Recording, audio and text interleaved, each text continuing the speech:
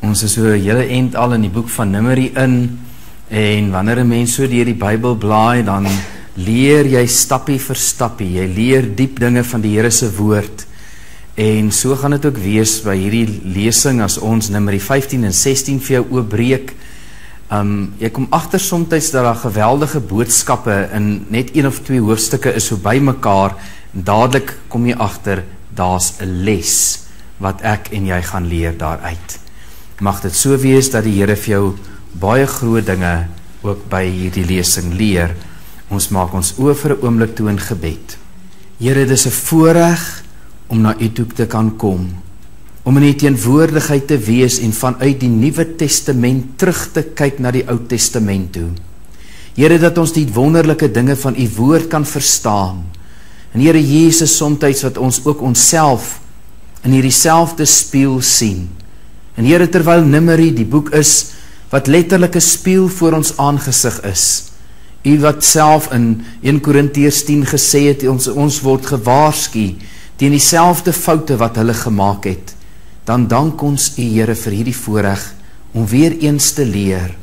Leer nie net Here dat ons verstand en ons gedagtes Here kan kan begryp wat in die woord staan nie, maar leer ons harte sodat ons kan verander tot eer van U naam. Amen. Ons kom by twee baie interessante hoofstukke in die boek van Numeri. Dis hoofstuk 15 en hoofstuk 16 en in jou handboek gaan dit wees bladsy 57 tot 69. Die Here het vir Israel ongeveer 40 uur gevat om hulle uit Egipte te kry. Baie maklik. So ongeveer 40 uur toets almal bymekaar en hulle is uit Egipte maar dit het vir God 40 jaar gevat om Egipte uit Israel te kry. En dis die groot probleem. Numeri hoofstuk 14 vertel een van die hartseerste verhale wat jy ooit in jou lewe kan lees en dit is dat Israel het tot by die beloofde land gekom. Hulle het dit selfs verspied, maar hulle kon God nie vertrou nie. Hulle kon God nie glo nie. Hulle kon sy beloftes nie glo nie. Hulle tree op uit hulle self, uit hulle uit hulle ongeloof uit en hulle mis wat die Here vir hulle bestem het.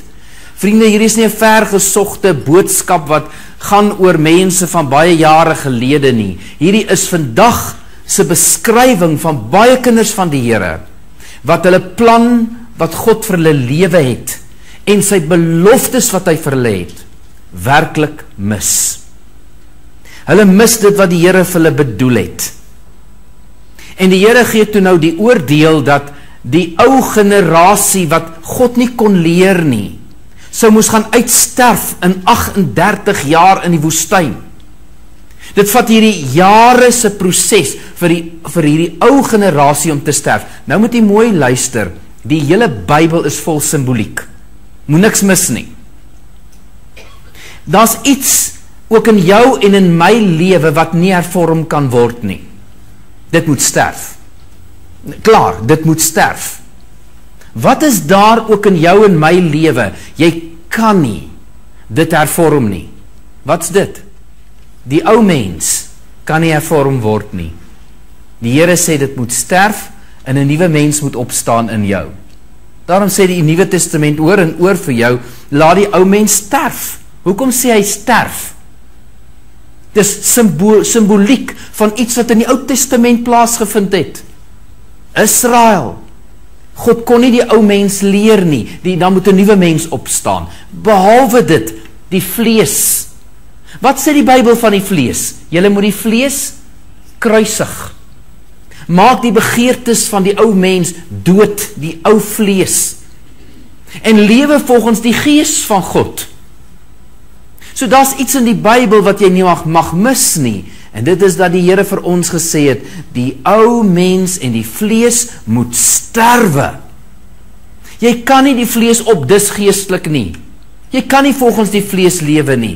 Lewe en wandel volgens die gees van die Here. So daar's die diep simboliek daarvan. Dit leer vir jou en vir my. Nou is daar 'n vraag. Israel het tot by Kadesh gekom. Nou um, jy kry nou verskillende kaarte, party dui vir Kadesh hier aan, party kaarte dui vir Kadesh hier aan. Hulle tot by Kadesh gekom en die Here sê keer terug na die wildernis. Toe hulle daar moes terugdraai wildernis toe, wat het nou gebeur? Het hulle by Kadesh gebly? Die woord Kadesh in Hebreëus beteken blyplek. In Engels is dit sanctuary, wat beteken die plek waar jy bly. So het hulle vir al die jare hierso by Kadesh gebly, hier of hierso. Het hulle die heeltyd net daar gebly of het hulle rondgetrek in die woestyn? Wat's die antwoord? Wel vriende, jy lees later in Numeri hoofstuk 20 na 38 jaar toe kry hulle weer by Kadesh. Het hulle rondgetrek? Hulle het rondgetrek. Jy lees dit in Deuteronomium hoofstuk 2 vers 1. O, dis interessant as ons by Deuteronomium kom om vir jou te wys wat beteken daai vers. Ek wens ons kom nog ek, ons lê dit nog so 'n bietjie vir die toekoms in. Maar daai vers vertel vir jou dat hulle het vir 40 jaar om die gebergte van Seher getrek. Seher lê hierso. So hulle kom van Kadesh af en trek toe nou vir 40 jaar in 'n sirkel rondom dieselfde ou berg 38 jaar lank. Waarom? Weet julle baie mense en is diep geestelik hierdie as jy die beste van God in jou lewe besig is om te mis, kom jy tot stilstand of trek jy in sirkels? Die probleem is nêrens in die Bybel kom jy tot stilstand nie of jy beweeg agteruit of jy begin in sirkels beweeg. Moet niks mis nie. Kinders van die Here wat God se plan vir hulle lewens mis, val in hierdie sirkels, hierdie siklusse van hulle lewe. Later is dieselfde boodskap van die boek van Rigters, toe Israel weer in sewe sirkels begin lewe het. Wanneer jy die planne van God begin mis, begin jy in hierdie ou lewenspatrone vasval en jy oorleef in dieselfde ou simpel patrone oor en oor en oor in jou lewe. Al in die ronde al in die ronde nie op pad nie nie besig om in te neem nie nie besig om te oorwin nie. In ou lewenspatrone. O jy mis soveel wat God vir jou bestem het. Nou moet u mooi luister. Waarom stuur die Here vir hulle 40 jaar en nou moet hulle trek? Dit was nie net om hulle besig te hou nie. God was besig om iets vir hulle te leer. Wat leer hy vir hulle? Elke keer as die wolkkolom en die vuurkolom optrek, dan moet hulle saamtrek. En as die wolkkolom en vuurkolom neerdal, dan moet hulle weer stop. En die Here leer hulle 38 jaar lank een les. En die les is om die Heilige Gees te leer volg As hy vir jou sê staan, staan jy en as hy vir jou sê beweeg, beweeg jy. God vat 38 jaar, hy leer een les vir hulle. Verstaan jy nou waarom hulle al rondom die berg Seir trek? En dis wat die Here doen in ons eie lewe ook. Al vat hy jare en jare en jare, elke keer tree jy op uit jou vlees uit. Jy tree op uit jou emosionele wêreld uit, jy tree op uit jou behoeftes uit. Jy het nie geleer om op te om te luister en op te tree die Heilige Gees uit nie. Hoor u dit? Wat wil God jou leer? Om fyn te luister. Hulle moes sien die oomblik as die wolkkolom begin optrek, dan blaas hulle die basuin. Dis tyd die Here beweeg. Onthou dat die wolkkolom en vuurkolom was altyd 'n beeld van die Heilige Gees se leiding in die Ou Testament. Een van die wonderlikste studies om te doen. Hoe werk die Heilige Gees? Kyk na daai wolkkolom, kyk na daai vuurkolom. Sy leiding is in jou en my lewe ook daar. En soms ons stop God solid net daar en jy moet stop. En soms dan trek die Here. Dan trek jy saam. En hoe lank moet God vir jou en my vat op 'n pad? Om een ding vir ons te leer en dit is luister na die Heilige Gees. En die Gees van God gaan baie dikwels op die sagste manier vir jou sê, moenie so praat nie. Moenie dit doen nie. Moenie hierdie ding koop nie. Ek weet jy wil, moenie dit koop nie. Hierdie ding in jou lewe dat elke keer as jy mismoedig word, dan wil jy in 'n in 'n koopgees ingaan, moenie so wees nie. Dan praat die Heilige Gees met jou. Leer om te luister. Verstaan jy 38 jaar se les? Jy gaan dit ook lees in Deuteronomium hoofstuk 8. Daar sê die Bybel so vanaf vers 4. Dis wat God vir Israel in 38 jaar probeer leer het. Om te wandel deur die Gees, om te lewe uit sy woord uit, maar Israel het net belang gestel in die fisiese dinge, nie in die geestelike dinge nie. Een van die grootste dinge wat God vir jou wil leer. Daarom trek hulle om dieselfde ou berg oor en oor. Verstaan jy waarmee God besig in jou lewe? My lewe. Hy's besig om my te leer om te kan luister en op te tree, te wandel deur die Gees. Dis wat God vir jou wil leer. Wandel deur die Gees. Dis Numeri 14. Ons gaan na Numeri hoofstuk 15 toe. En hier kry jy 'n klomp offers Hulle is sopas die woestyn ingestuur. Hulle gaan nou trek om dieselfde berg. Hier kry jy 'n klomp offers en dis beweeg offers en ewe skielik kan sê mens halt vir 'n oomblik wat gaan hier aan? Ek meen Israel het sopas die beloofde land gemis en hier begin die Here met offers? Hoekom offers? Wat bedoel God? Wat sê hy vir Israel deur hierdie offers? Beweeg offers en hele klomp dinge. Ek meen ons het al deur Levitikus gewerk, ons is al deur Exodus met al die offers daar. Hoekom sit God hulle weer deur 'n hele leerskool van offers? Baie eenvoudig, hy stuur hulle terug skool toe. Reg? En hy sê vir hulle gaan wie hulle weer leer oor offers en ek wil julle sê nog altyd het die 38 jaar van Israel vir my baie mismoedig gemaak in my lewe.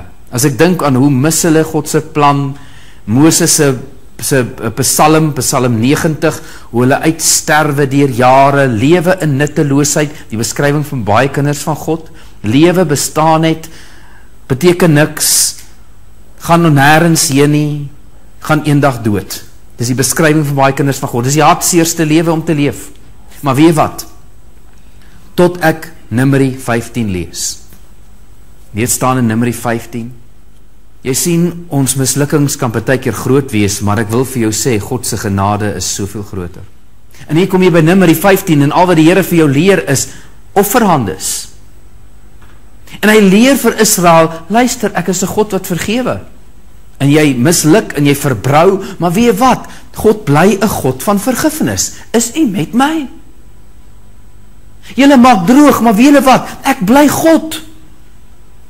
Ek bly die God van sorg. Die Here het nooit opgehou in hy 38 jaar om vir hulle te sorg nie. Hy het hulle nog altyd beskerm. Daai wolkkolom was nog altyd bo oor hulle. Die vuurkolom was nog altyd daar om hulle te lei. En jy mis net God se beste vir jou lewe want jy luister nie en jy vertrou God nie. Ek kyk terug na my eie lewe en weet jy wat kom ek agter? Daar was hoeveel tye wat ek God nie kon vertrou het toe die Here vir my gesê het: "Koop daar, doen dit, maak so" en ek kon God nie vertrou nie. Luister mooi. Ek het God se beste gemis.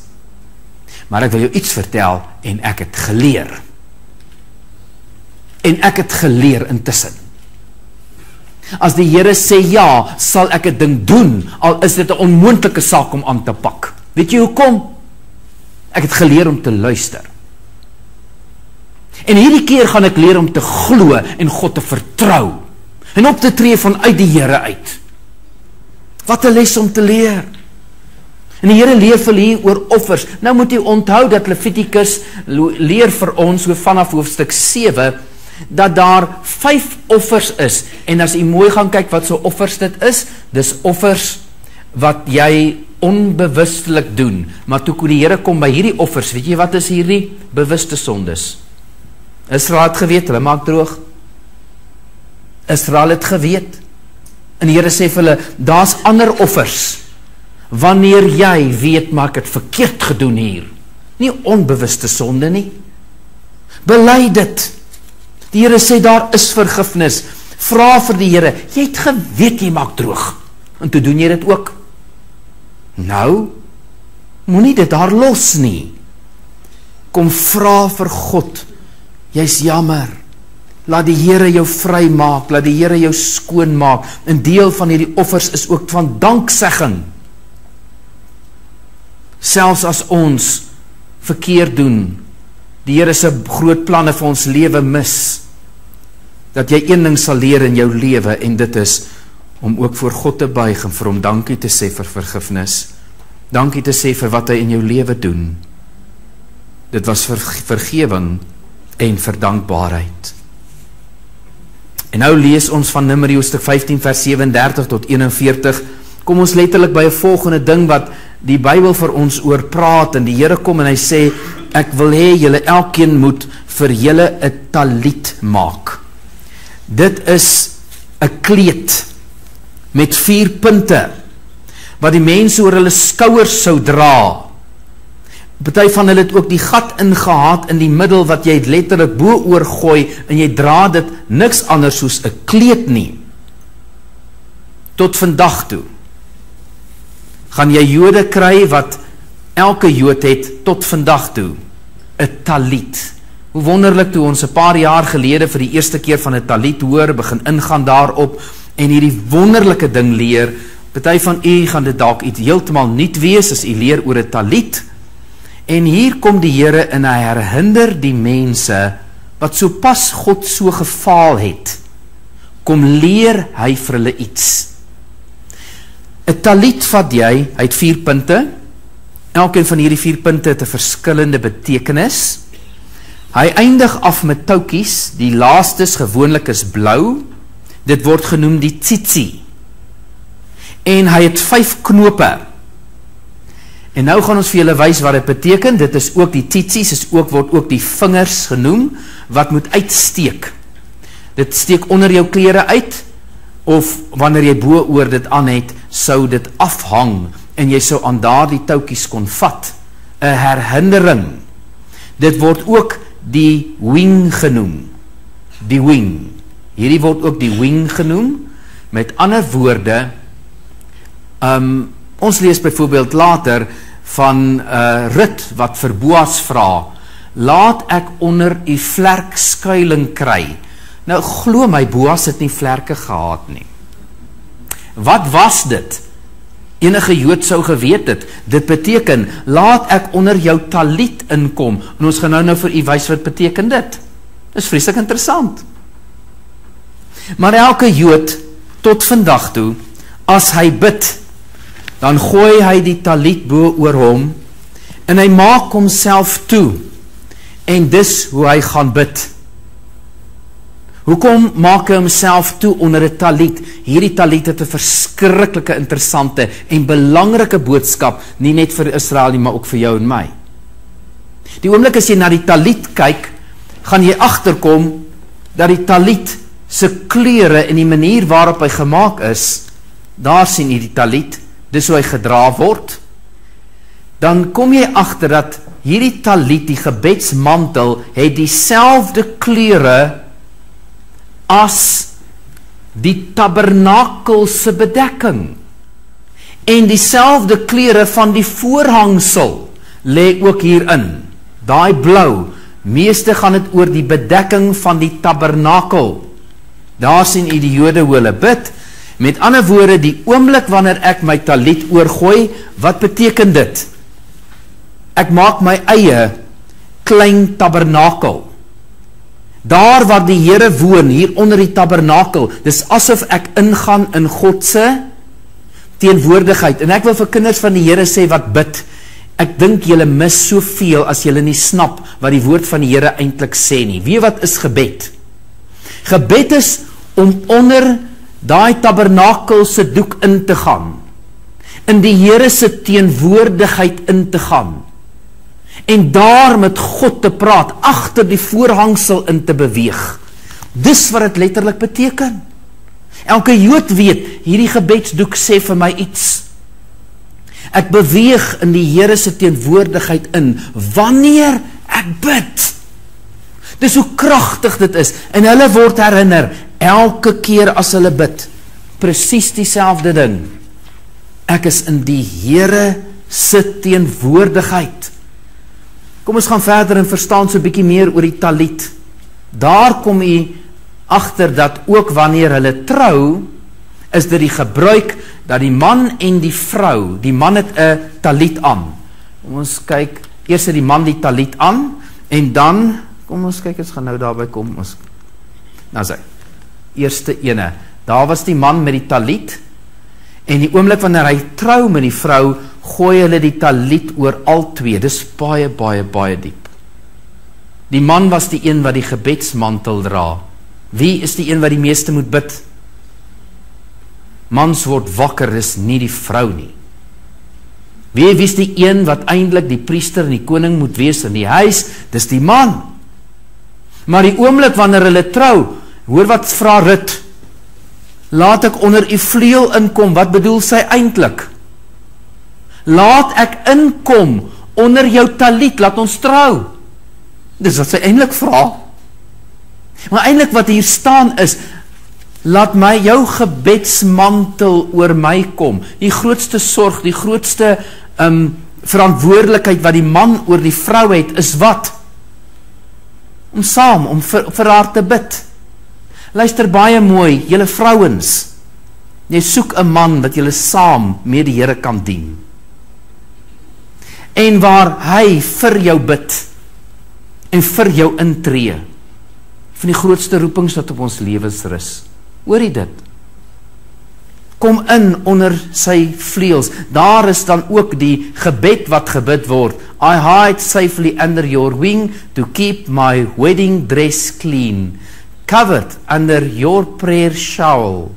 I see things as yet unseen.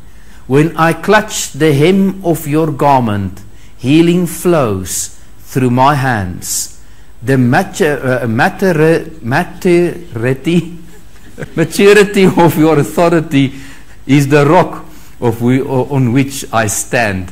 Ja, soms ek skryf Engels en as ek moet uitspreek kan knoop my tong. Hierdie was letterlik iets wat jy moes onthou. Al hierdie knopies verduidelik iets vir jou. Hierdie knopies verduidelik iets vir jou. Dis soos 'n knoop, ons sê mos ek maak 'n knoop in my vinger. Ek sal dit onthou.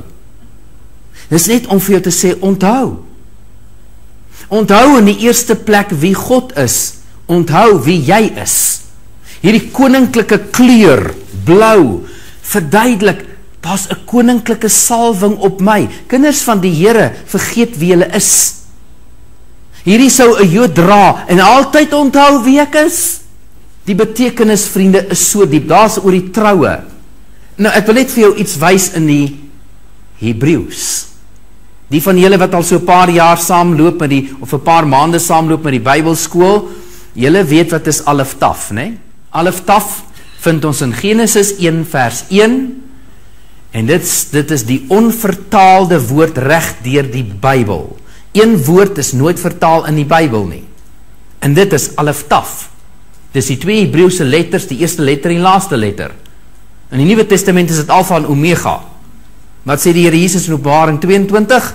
Ek is die Alfa en die Omega. Kom ons lees nou. Nou dat jy verstaan wat beteken Hebreëus, daar's die Alef, daar's die Taf.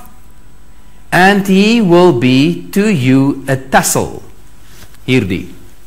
And you will see him so you will remember Alef Taf. Weereens nooit vertaal in die Bybel nie. Wie's Alef Taf? Jesus Christus. Julle sal as julle na die talit kyk herinner word aan die alfa en die omega, die begin en die einde, Jesus Christus. Of all, Jesus van almal. Commandments of Yahweh so you may obey them. Sodat julle altyd sal onthou Jesus Christus dat julle hom sal gehoorsaam en doen wat hy sê. Jare later toe kom die Messias, die Here Jesus. En wat het die Here Jesus gedra? 'n Talit. Jesus het 'n talit gedra want hy was 'n egte Jood. En hy dra sy talit en die geleentheid toe Jairus kom om vir hom te sê: "Meester, my dogtertjie is besig om te sterwe." Is die Here Jesus op pad soontoe en die geleentheid kom waar die vrou wat bloedvloeiing gehad het, kom en sy raak aan hierdie een. Nou u gaan sien, daar is dit wit, dit moes eintlik blou gewees het, dis die blou tosseltjie. Blou tosseltjie.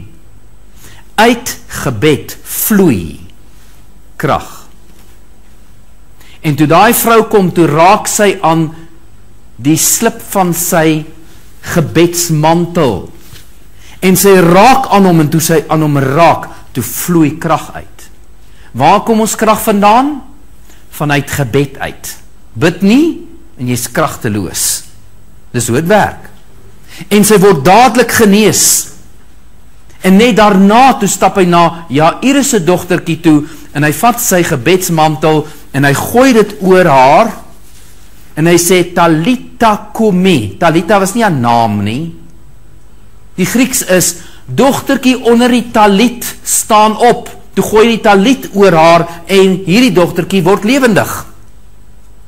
Verstaan jy? Jesus het 'n talit gehad. Eendag sê die Bybel vir ons in Numeri hoofstuk 15 gaan die Messias kom en hy hele gaan herinner word aan aan hom. Dis nie fantasties nie. Dis 'n herinneringskleed wat 'n mens aan het. Elke knoop beteken uh, het iets spesifiek wat dit beteken. Nou die Torah spelling van die tsitsi werk uit op 590 as twee maniere waarop jy hom spel, die of, of waarom jy hom uitlê, die Torah spelling en die Mishnayk spelling. Die een werk op 590 uit, die een werk op 613 uit. Die mitzvot 613. Hoekom 613? Hoeveel gebooie is daar? 613. Kom ek help jou net gou. Hoeveel gesegdes het Jesus in die Nuwe Testament gegee? Ook 613. Dieselfde God van die Ou Testament is die God van die Nuwe Testament. En dis ook dan in 'n granaat, nê? Nee, jy weet hoe groot 'n granaat is. Al is hy so groot, al is 'n granaatjie net so groot, het hoeveel pitte in? 613 putte. En daar kry jy dat dis die betekenis onthou onthou die Here se wette. In die Nuwe Testament leer ons onthou alles wat Jesus vir ons gesê het. 590 is net so belangrik. Iemand weet, iemand dalk vir ons weet wat beteken daai 590. Is ook 'n uh, betekenis ehm um, van die Here se teenwoordigheid, daar kry jy daai blou tosseltjie in. Daar's die 590 ook van hom. Kom ons gaan verder. Daar kry jy verdere verduideliking van hierdie tsitsies, die vier ehm um, kante. Ek wil vinnig gaan om vir jou te wys. Daar sien jy vir Donald Trump selfs. En ek het baie respek vir daai man vir sy Christelike waardes. Daar staan hy ook met 'n talit om. Nou wat doen die Here? Hy gee vir vir die volk iets om te onthou. Hy sê vir die volk: Onthou altyd wie julle is. Onthou dat julle aan my behoort. Julle is myne. So altyd in jou lewe dra daardie talit. En weet jy later in die ballingskap tydperk toe hulle weggevoer is na die na die na die heidense nasies, weet jy wat het gebeur? Hulle het 'n kleiner talit gemaak. En daai kleiner talit het hulle dan onder hulle klere gemaak dat net die toutjies uitsteek. Vandag nog steeds dra die Jode dit. Jy gaan baie keer 'n Jood sien loop as hy net hang 'n paar toutjies uit. Hy dra dit nie oor sy skouers nie, hy dra dit onder sy klere. Laat net die toutjies uithang, selfs in die weermag, was daar twee Joodse rabbies wat saam met my in die weermag was en onder daai weermag klere Alles moet so netjies wees, raai wat hang uit. Die tsitsies. Daai toutjies hang uit.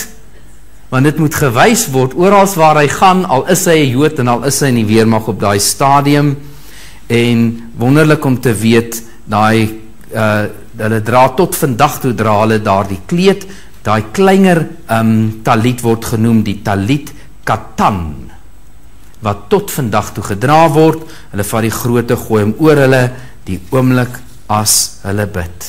Nou ek het 'n vraag vir jou. Is daar iets wat jou herinner wie jy is? Is daar iets wat jou herinner dat jy aan God behoort? Is daar iets wat jou herinner dat jy in God se teenwoordigheid is. Wat dra jy? Wat is daar? Kinders van die Here mis vandag soveel uit. Baie mense vra vir my waarom dra ek twee ringe? Ek dra twee ringe, hoekom? Eerste ring het ek aangesit daai dag toe ek en Jolandi trou. Ek behoort aan haar, sy aan my. Ek dra tweede ring. En daai ring is my verbond met God. 'n Herinnering oral waar ek gaan, alles wat ek doen, word ek herinner ek behoort aan God. Ek is syne vir altyd. Ek is 'n kind van God. Ek is weggegee aan hom. In jou lewe moet jy dinge begin inbring wat jou herinner. herinner. As jy in jou huis instap, is daar teksverse teen die muur. As jy jou Bybel lees, maak jy aantekeninge van hier se belofte gegee of ag wel, wie Here het met my nou vandag so gepraat en hier belofte gegee, 'n week later weet jy nie God het jou beloof nie. Maak jy dit vas? Is jou lewe 'n getuienis waar jy gaan? Ek en jy is veronderstel om soos Israel die herinnerings te dra in ons lewe. Ons gaan verder aan. En ons kom by Numeri hoofstuk 16. En in Numeri 16 gaan jy weer twee herinnerings kry. So drie herinnerings in Numeri 15 en Numeri 16. Wat se twee herinnerings lê vir ons in Numeri 16? Hier gaan dit oor die ware priesters en die valse priesters. Daar's twee rebellies wat plaasvind in die boek van Numeri 16. Ek kan nie net nie glo daar's weer 'n rebellie nie. Jy moet onthou hulle so pas uit die land van Kanaan gesit want hulle teen God gerebelleer. En ek het gedink hulle is nou klaar met rebellie. Kyk nou vir eens en vir altyd nou daarmee klaar. Maar dit klink nie so nie. Israel is alweer besig om te rebelleer. Hulle leer net nie. Dis soos 'n klomp slawe. Wat doen 'n slaaf, vriende? Hy kla en hy's altyd ongelukkig. As dit nie hieroor is nie, dan is dit daaroor. En die Here kry nie hierdie slawe gesindheid van altyd ongelukkig oor alles uit hulle lewens uit nie. Hierdie gedeelte gaan oor die opstand van Korag. Korag die seun van Isar wat in opstand gekom het saam met Datan en Abiram en 'n groot rebellie gelei het teenoor Moses. Wie is Koran? Daar lees jy wat hy gedoen het. He took action vers 1 vers 2 rose up before Moses vers 2 vers 3 sê assembled together mense bymekaar gekry vers 32 hulle hulle noem almal wat saam was die volgelinge van Korag en Korag se rebellie jy gaan dit ook in die Nuwe Testament in Judas vers 11 lees wat gebeur Hy kry 250 mense bymekaar. Dis priesters. Ekskuus, leviete wat hy bymekaar kry om in rebellie te kom teenoor Moses en teenoor die Here en hy kry ook 'n stam wat saam met hom in rebellie kom. Ons gaan dit nou vir u hanteer. Kom ons kyk gou wie Korag Levi het drie seuns gehad. Gerson, Korag en Merari. Onthou u dat ons hulle hanteer het toe hulle rondom die tabernakel gekamp het. Elkeen het 'n ander werk gehad. En toe kom die Here en hy gee vir een groep die hoogste werk van al die leviete en dit is vir Korag. Korag het 'n verskriklike groot werk gehad met die tabernakel. Daar sien u Korag en toe is daar van die seun Ishar 'n seun met die naam van Korah. Daar sien u vir Korah. sien u hom? Daar sien u Korah. Van Amram, daar's 'n Aaron, sien u hom? Hulle is op dieselfde tydlyn. Daar's Korah wat in rebellie gekom het. Wie was die mense van Korah? Hulle grootste taak was om die meubel meubelstukke van die tabernakel te dra. Weet jy die ander ouers, hulle het nie so groot voorreg gehad nie. Hulle moes maar die palle dra in die voetstukke dra, maar o, daar was 'n groep leviete. Kyk, hulle die grootste wonderlikste taak gehad. Hulle moes die heilige implemente dra. Kom ons kyk gou hierse waar is dit nog? Ons nou te ver. Hulle moes die ark dra. So hulle het hierdie verskriklike groot taak gehad en hier kom hulle in rebellie. En hulle sê vir Moses: Moses, wie het jou en Aaron aangestel? Ons kan ook priesters wees. Onthou hulle is leviete, hulle is nie priesters nie. Ons het hierdie groot taak wat ons het, maar ons soek nog 'n groter taak. Ons wil ook voor die Here se aangesig verskyn. Wie sê julle mag dit alleen doen? Dis die rebellie. Wie die orde daar gestel? Die Here is met my. Hulle is op die amper die hoogste vlak. Hulle wil nog een vlakkie hoër gaan. Hoor jy dit? Van wie weet jy wat presies dieselfde gedoen het? Satan. Die Bybel sê vir ons in Jesegiel 28 Lucifer se val het presies so plaasgevind. Hy was die mooiste van al die engele Hy was 'n gerub gewees met uitgespreide vlerke met die hoogste taak en dit was om alles van God te beskut en God se heiligheid te beskut. Hy was die hoogste van al die engele en in Jesaja hoofstuk 14 toe kom hy in rebellie teen God en wat sê hy? Ek wil net nog so een stapie hoër gaan en my gelykstel met God. Die Here het ordes, reg? En Here het vir jou taak, reg? En hulle sê ons het nou genoeg die goed gedra. Ons wil nou nog een stapie verder gaan. Ons wil God ook vir God ook gaan offer. En die manier waarop hulle kom is, hulle kom met 'n totale rebellie teenoor Moses. Moses, jy vat te veel op jouself. Hoe klink dit? Baie mense het hierdie uitdrukkings wat hulle gebruik. Klink dit goed? Jy vat te veel op jou. Dit klink soos 'n baie goeie uitdrukking nê? Nee. Jy vat te veel werk op jou te veel verantwoordelikheid. En jy weet daar's baie keer sulke uitdrukkings wat mense gebruik sonder om te weet wat hulle regtig sê. Net gehoor van die man wat daar in Amerika het hy 'n perd gaan koop en hy koop hierdie fantastiese perd by die Amish. Jy weet wie is die Amish? Dit is Amish. Daar's jy beter of tussen Afrikaans en Engels, die Amish, né? Nee? En hy gaan koop nou by die Amish, gaan koop hy nou hierdie pragtige perd. En net voor hy wegstap met die perd, toe sê die ou nou vir hom: "Hoorie so, ek moet jou vertel, hierdie perde word geleer op 'n sekere manier. Kyk, ons is baie Christelik, so as jy wil hê moet vinniger gaan, hy moet aan die galop gaan en vinniger gaan. Al wat jy sê is prys die Here." Goed, dit is hoe hy werk. En die ou het die, die perd geklim en hy dog, kyk, ek moet hierdie perd toets, hierdie pragtperd en hy hoor nou wat moet uh, onthou nou wat moet hy sê en hy sê prys die Here. En hier begin die perd galop hy dog kyk hierdie perd kan vinniger. Prys die Here en die perd gaan nog vinniger. En later is dog hy kom ons kyk wat wat se spoed het hierdie perd. En hy sê prys die Here ag gaan my perd en toe hy goed op spoed is toe kom hy agter maar hy het nie gevra hoe stop hierdie perd nie kyk maar hy trek aan die toue aan die aan die, aan die teels en hy skop die perd, niks werk nie. En hy dog wat se wat se woord gaan die Amish gebruik vir stop? En hy sien hier is die groot afgrond hier voor hom. En hy weet iewers moet ek die regte woord kry en gelukkig maak hy so 'n poging en hy sê amen.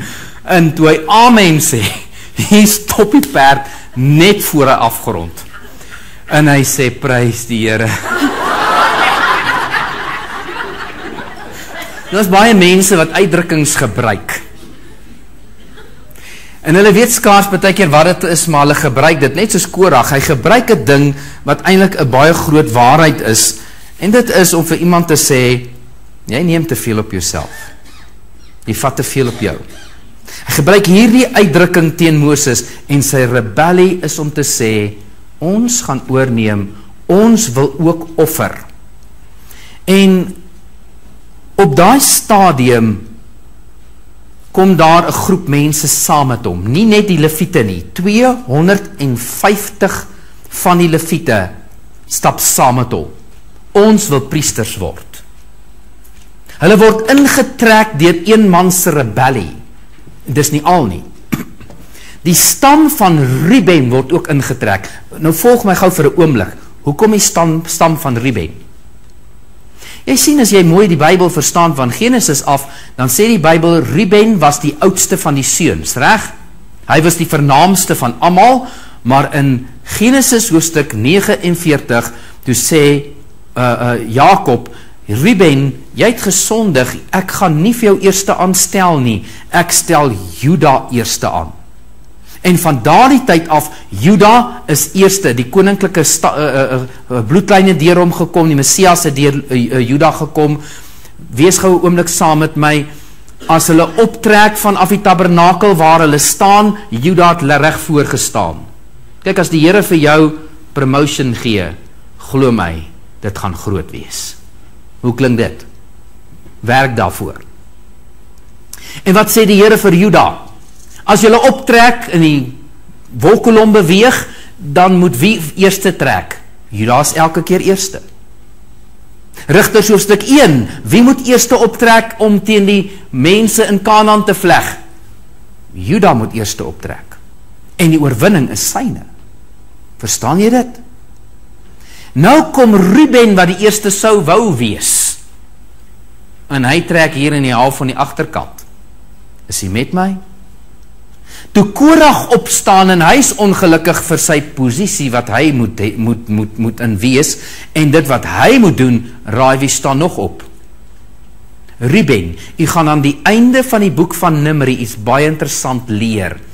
Jy gaan leer dat Ruben se nageslag het nooit vergroot nie, dit verklein en verklein en verklein. Jy gaan ook leer dat waar Korag gestaan het en Ruben gestaan het, was langs mekaar. Pas op vir beïnvloeding. Wie is jou vriende? Is jy met my? Met wie meng jy jou? Hoor jy dit? Meng jou met die verkeerde vriende. Kamp langs die verkeerde ouens. En kyk hoe hulle jou gaan beïnvloed. In rebellie. Jong mense, kyk wie is jou vriende? Wees saam met die regte vriende, maats en kyk hoe hulle jou positief beïnvloed. Ons gaan dit aan die einde van die boek van Numeri lees. Ons bewerk 'n bietjie vooruit. So die mense van Ruben kom in opstand. 250 van die Lewiete kom in opstand. En hulle sê: "Kom ons gaan." En ons gaan teen Moses opstaan. Ons gaan vir Moses sê: ons wil ook priesters wees. Beskuldig vir Moses. En wat doen Moses toe hierdie aanslag kom? Hy bid. As daar een ding is wat elke keer ons moet leer, is Moses se lewe. Toe daar probleme kom, wat doen hy? Hy bid. Hy hy antwoord nie eens vir Korag nie. Die grootste godsmanne in die Bybel, elke keer as daar probleem gekom het, het hulle dit nie eers hanteer nie. Hulle het gebid. En God het hulle raad gegee, dis hoe Moses dit hanteer. Hy bring hulle almal bymekaar. Hy kry hulle almal bymekaar. En Moses sê vir hulle: "Julle gaan eers moet voor die Here se aangesig verskyn en laat hy maar kies wat wat wie wie moet voor hom dien." En nou wil ek hê jy moet gou mooi verstaan. Moses vat nie posisie nie. Hy sê laat God besluit. Wat het Dawid gedoen? selfde. Hy het nooit die kroon en die troon vir homself gevat nie. Hy het laat God dit vir hom gee. Verneder jou onder die kragtige hand van die Here en hy sal jou verhoog. Maar wanneer mense hulle self begin aanstel, ek wil jou sê dis een van die gevaarlikste dinge wat jy kan doen, is om jouself aan te stel. Datan en Abiram, hulle kom ook in opstand, dis deel van die van die priester van die leviete. En hulle sê hierdie woorde, hulle sê vir Moses: "Jy het ons uit die land van melk en honing uitgelei, dis nou Egipte. Waar kom jy daar?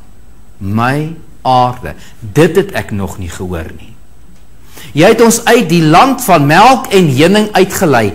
Hulle vergeet die slawerny. Waar was die melk en honing? Hulle tot God gekerm. Dis hoe hulle hierdie hele aanval begin. Jy het ons uit die land van melk en honing uitgelei en nou is ons in hierdie woestyn en jy het gemaak dat ons in die woestyn kom sterwe. Hulle het vergeet dis hulle gewees.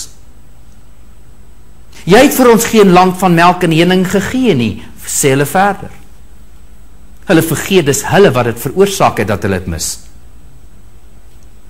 Toe sê hulle verder: "Jy maak asof jy 'n prins is onder ons." Hoekom gebruik hulle daai woorde? Want Moses was op 'n stadium 'n prins toe hy in Egipte was. En toe sit die Here hom 40 jaar in die woestyn, die Here bring hom uit en hy was nooit weer prins nie. 'n Nederige man wat God kon gebruik. Wat sê hulle? Jy maak of jy prins is. Jy maak of jy jou, jou aangestel het oor ons. O vriende, een van die grootste dinge wat mense kan doen is wanneer mense begin om 'n aanslag te maak en en posisies vir hulle te vat. Ek wil jou sê is een van die grootste aanslae wat Satan kan loods op gemeentes, op kinders van die Here, want weet jy wat? Dis presies wat Satan laat val het. Hier val hierdie selfde mense in dieselfde in dieselfde uh, trap. Mag ek vir 'n oomblik aangaan? Ek weet ek het hierso ehm um, fotos wat ek graag vir julle wou wys. Moses sê toe bring daai vier panne. Daai 250 manskappe. Bring julle vier panne, kom staan voor die aangesig van die Here. Julle wil mos voor God verskyn. Julle wil mos priesters wees. Kom staan voor God. En laat Aaron voor die Here kom staan. Dan kyk ons wie aanvaar die Here. En die Here daai 250 prinse aanstaande mense wat met vuur panne voor God kom staan het verdelg hulle verbrand en as ek vir 'n oomblik kan teruggaan en wat doen die Here met met met Korag Korag en sy mense die mense wat saam met hom baie van hulle uit die geslag van die Rebeniete van Reuben in in opstand gekom het. Die Here sê vir Moses: "Separate yourselves from them." Luister die woorde: "Sonder julle af van hulle." Nou, jy moet nou niks mis nie. Dit gee vir jou 'n baie goeie beskrywing van die woord sonder jou af. Wie wat beteken dit? Laat hulle eenkant staan en julle gaan eenkant staan want die Here gaan hulle tref. Moenie in dieselfde kamp wees as hulle nie. Nuwe Testament sê die Here vir ons oor en oor, selfs in Titus hoofstuk 3. Sonder jou af van mense wat verkeerd lewe. Mense wat 'n gedaante van godsaligheid het, maar die krag daarvan verloon het, sê die Here vir Timoteus. Sonder jou af van mense wat negatief is en en en en aankla en dit, wat sê die Here vir ons? Kry hulle weg van jou af. Die Here sê vir ons van die van die wêreld, moenie met die wêreld deel nie sonder jou af. Hoekom? Die Here gaan die wêreld tref met oordeel. Wat sê God? Staan heeltemal weg van hulle af. Moenie met hulle goeders deel nie. Dis die betekenis van die woord sonder jou af. En wat gebeur? Die grond skeur oop onder daardie groep mense van Korag. Die grond skeur oop In die Bybel sê en lewendig het hulle in Sheol, dis die doderyk afgesak. Die eerste mense wat lewendig hel toe is. Weet jy mense het lewendig in die hel geval in die Bybel? God maak 'n uitsondering. Hy wag nie eens dat hulle sterf nie. Die grond skeur oop en lewendig val hulle binne in die hel in. Nou die Bybel vir ons sê en die in die geskreeu wat daar uitgekom het was so hard. Dit was so hard dat die volk gevlug het. Een van die Joodse geskrifte sê vir ons, dit was 'n verskriklike geskreeu gewees wat daar uitgekom het. Die geskrif word genoem die Targum En daar word selfs aangehaal wat hulle geroep het uit daai put uit. Die geroep was vreeslik en hard. En hulle het gesê die Here is 'n regverdige God want sy en sy oordeele is waar. Die doderyk is 'n realiteit, weet jy dit? Die doderyk is daaronder, weet jy dit? Die Bybel sê vir ons dat die Here selfs die aarde laat oopskeer en mense het lewendig so toe gegaan. Jy kon hoor hoe roep hulle uit die doderyk uit. En toe maak die Here weer toe bo oor hulle en hulle is deur die grond toegemaak lewendig binne in die doderyk in. Dit's 'n baie belangrike gedeelte in die Bybel, die bevestiging dat daar doderyk is en wat daar regtig in die doderyk is, word ook veel bevestig. Daar's die lesse wat ons leer uit Korag se rebellie uit. Geweldige lesse. Die Here kies ons baie keer om 'n diensknegt te wees en niks meer is dit nie. Die Here het 'n roeping op elkeen se lewe en dis wat jy moet volbring. Moet nooit jouself aanstel nie, laat God jou aanstel. Dit is gevaarlik, dit is baie belangrik. Die Here vir jou posisie, doen dit. Hy het 'n taak vir elke een.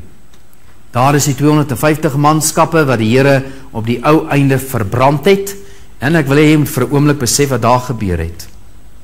Hulle staan met daai by daai koper wierook panne voor die Here se aangesig.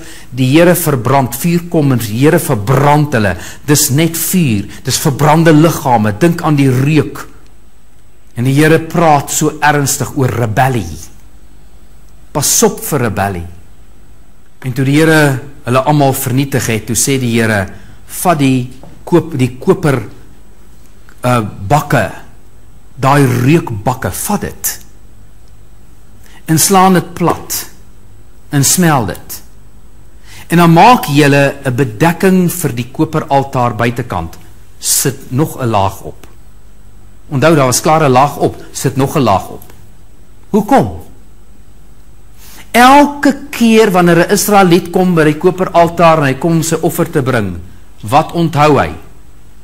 Moenie in rebellie kom teen God nie. Moenie rebelleer teen God nie. Vir altyd sou hulle hierdie les leer. En elke keer as hy by die koperaltaar kom, word hy herinner aan dieselfde les. Moenie sondig nie. Moenie in rebellie kom teenoor die Here nie. Sien jy die tweede ding wat die Here vir ons wil herinner? Die eerste een is: God wil hê jy moet onthou aan wie jy behoort. Hy wil hê jy moet onthou wie jy is dat as jy bid as jy in sy teenwoordigheid, moet dit nooit vergeet nie. Tweede ding is, pas op vir sonde, vrees die Here. Moenie verkeerd doen nie. Pas op vir rebellie teen God. En elke keer as Israel by daai koperaltaar kom, word hulle herinner aan dieselfde ding oor en oor en oor. Maar moet jy gaan verder. Dis nie die enigste rebellie wat daar was nie. Ek dink Moses het gedink nou is ons klaar met rebellie, is ek reg? En die volgende môre toe kom die volk in rebellie. Kan dit waar wees? Die volgende môre toe staan die hele volk op en wat sê hulle? Hulle sê julle het die volk van die Here gedood.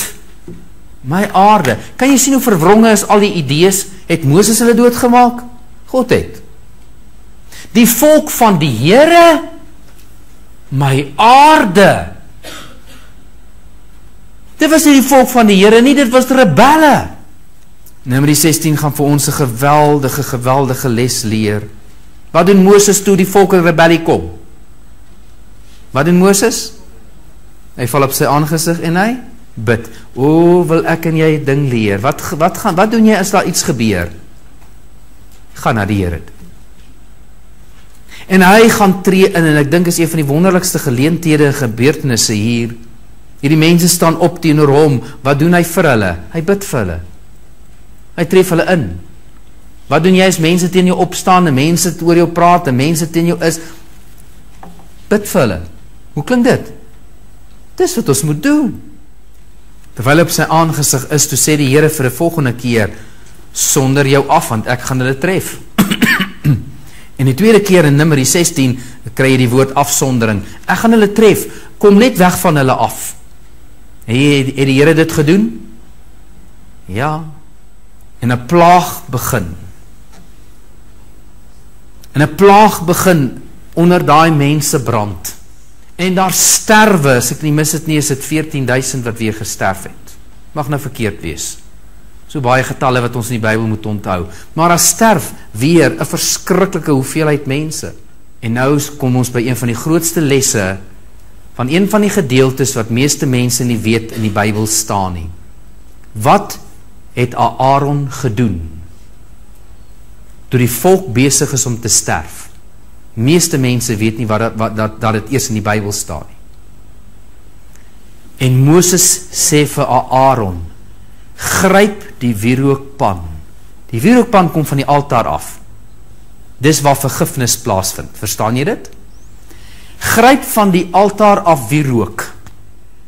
Hardloop in die tussen die volk in en terwyl hy hardloop in die volk in, gaan staan hy in toe hy staan met die wierookpan. Weet jy wat het gebeur? Hierdie kant is die mense dood. Hierdie kant lewe die mense en hy staan tussen die dooies en die lewendiges. Eerste ding wat ek en jy moet verstaan is ons moet besef hoe werk gebed en om in te tree vir mense. Weet jy hoe belangrik is gebed? Geen wonder Moses het elke keer gaan bid nie. Gebed is wanneer ek en jy voor die aangesig van die Here staan vir mense en die wat jy nie voor gebid het nie is dood. En die waarvoor jy gebid het lewe. Dis so groot gebed is.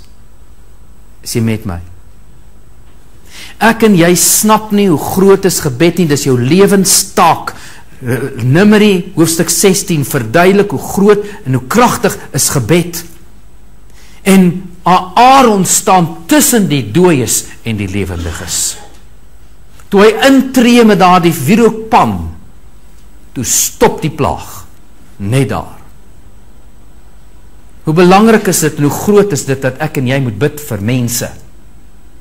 Hulle kon nie vir hulle self bid nie, jy moet vir hulle bid. Jy moet vir hulle intree. Miskien sal ons verstaan as ons hierdie woorde lees en na Aaron het gehardloop. Ek en jy moet hardloop om in te tree.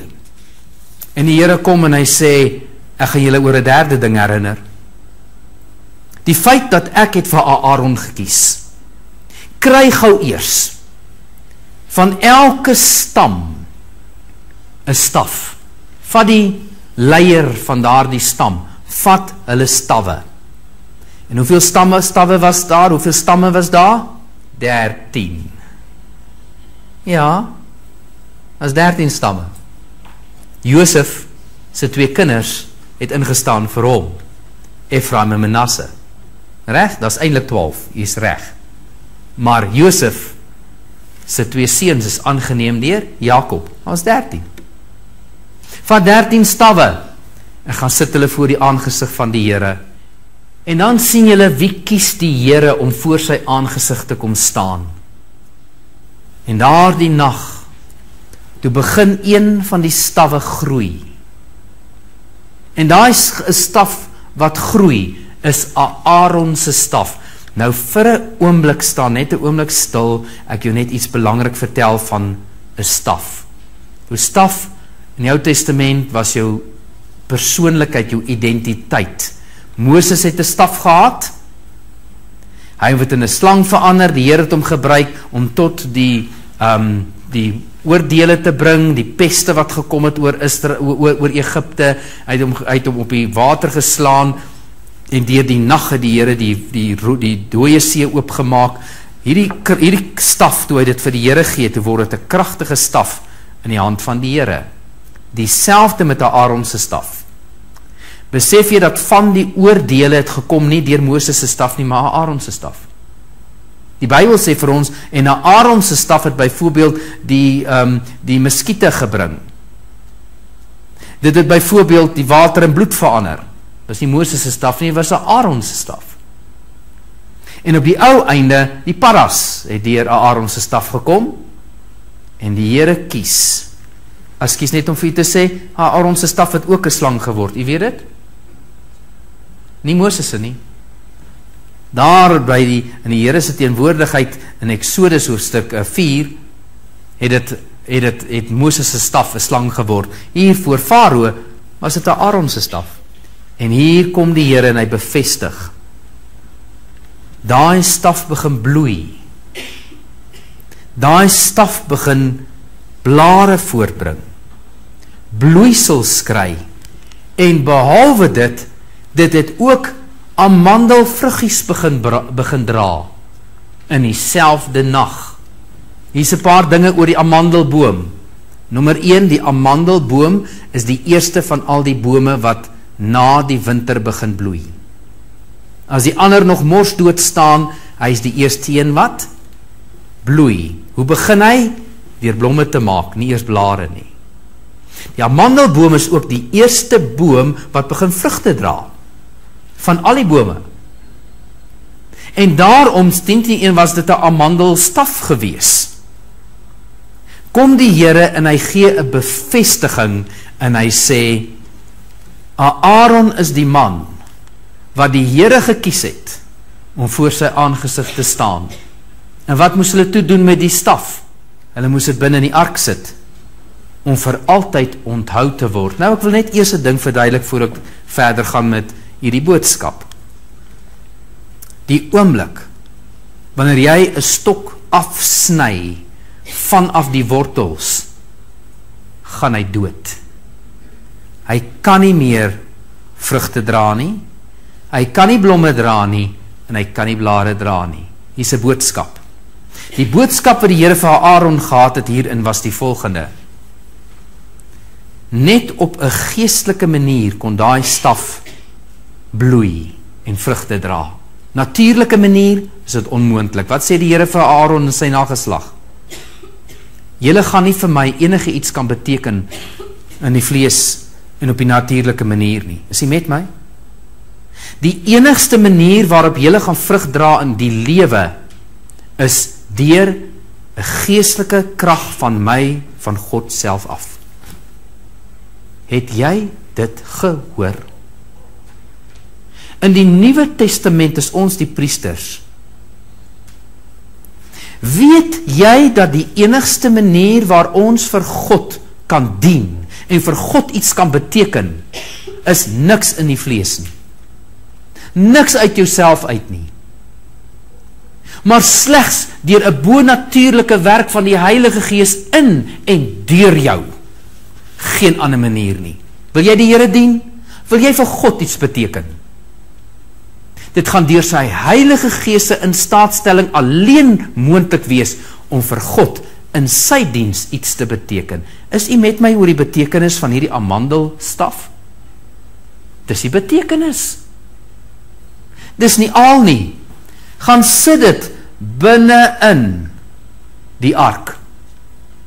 En daar in die ark was toe vir altyd drie goed gewees die twee tablette van die wet die pot met manna en die wandelstaf van Aaron. Al drie goed wat Israel in rebellie was en Israel in misluk het, word geplaas binne in die ark. Daar word 'n goue deksel bo-op gesit en bloed word bo-oor besprinkel om die rebellie toe te maak. Van toe af kyk God nie op die wet nie, kan u dit sien? God kyk nie oor al die bekleierery wat hulle gehad het oor die manna nie. O, dit was 'n bekleierery nie net een keer nie. En God kyk nie af oor die rebellie oor Aaron se bediening nie. Die bloed bedek en is tussen God se teenwoordigheid en Israel se rebellie. En vir altyd word Israel herinner aan drie goed. Eerste ding, Hulle dra talit. En God wil vir jou en my ook altyd herinner aan iets wie jy is. Wat dit beteken as jy bid. Dat jou lewe weggegee is aan die Here. Jy behoort aan hom. Die Here wil hê jy moet altyd waar jy beweeg in hierdie de mekaar vol wêreld altyd onthou wie is jy? En wie is hy? As 'n tweede ding wat die Here jou altyd wil herinner. Daai koper wat oor die altaar getrek was, pas op vir sonde. Pas op vir verkeerd doen. Die Here straf dit. Kom jy agter wat die Here vir jou wil vertel? Daar's 'n derde ding wat God ons altyd aan wil herinner. En dit is hy vir ons elkeen 'n roeping en elkeen 'n taak. Volbring wat God vir jou gegee het en jy kan dit nie doen uit jouself uit nie. Slegs deur die instaatstelling van die Heilige Gees maak nie saak wat jy doen nie of jy daar agter daar daaronder die die die vloere mop, dan doen jy dit deur die krag wat die Heilige Gees jou gee anders te gaan jy moan. Reg? En as jy met mense werk, jy doen dit nie deur die krag van die Heilige Gees nie. Ek glo my, jy gaan vir hulle aanrand. Regtig? Jy gaan hulle iets aandoen. Of jy preek en of jy daar agter werk en jy en jy vee die vloer. Jy die krag en die instaatstelling van die Heilige Gees nodig of jy gaan dit nooit vir die Here kan doen nie. Daar's die herinnering. Hoe diep is die Bybel? Die Here stuur hulle 40 jaar, 38 jaar letterlik in die woestyn terug en hy sê van nou af leer julle om te wandel deur die Gees. En ek gee vir julle drie goeters wat julle moet onthou. Altyd, altyd, altyd onthou dit. Moet dit nooit vergeet nie. Numeri hoofstuk 15 en Numeri hoofstuk 16. Het u iets geleer uit? Kom ons maak ons harte voor die Here stil.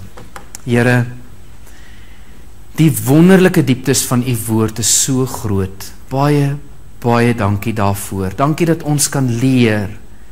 Maar dankie vir die pad wat ek met u kan loop. Here, ook ek het soveel genade nodig. U leer my ook uit my foute. U leer my, Here, oor die goed wat ek soms so verkeerd kan doen. En U leer my om nooit weer dit te doen nie. U leer my oor die werk wat ek vir U moet doen. En U leer my oor my verhouding met U. Maak dit vas in my lewe, Here. Help kinders van die Here om op te staan in hierdie besonderse roeping en taak wat U vir hulle lewens soek het. En baie dankie dat U woord spreek oor ons. Ons eer U daarvoor in Jesus naam. Amen.